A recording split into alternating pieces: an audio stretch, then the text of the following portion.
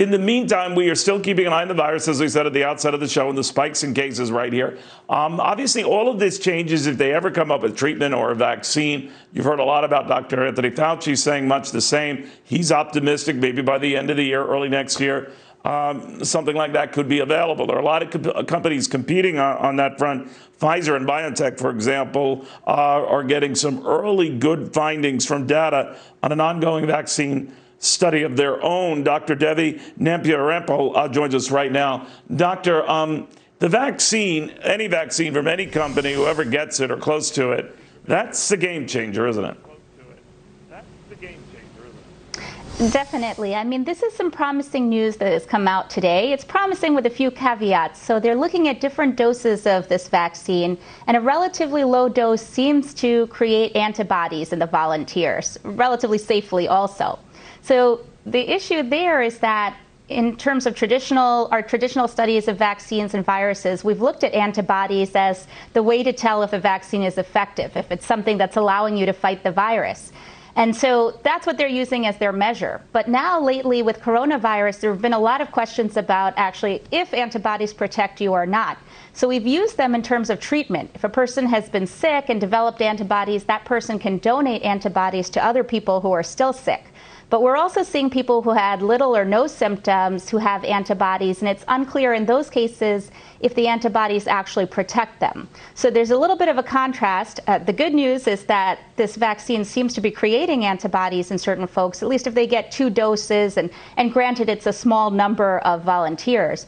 But that being said, their measure, the scientists are using antibodies as their measure, but that may not be an effective measure in the grand scheme of things because, for example, the FDA has said that what they really want is not to see whether there are antibodies, but to see whether the vaccine actually prevents illness in people who are exposed to the coronavirus.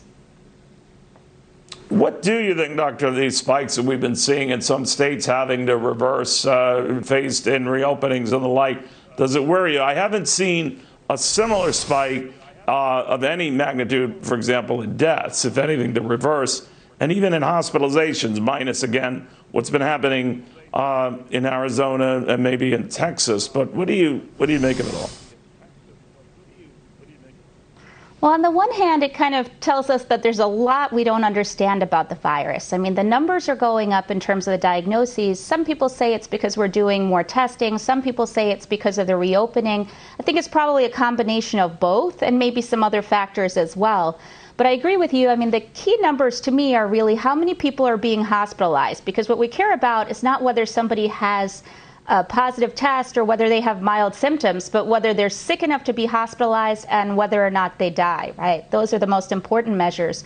So because those numbers they are going up but they're not going up as quickly, especially in states like New York where we've had a lot of reopening taking place.